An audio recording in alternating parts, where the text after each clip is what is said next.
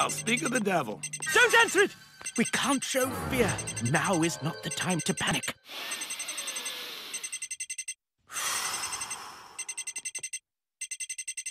All right, go ahead.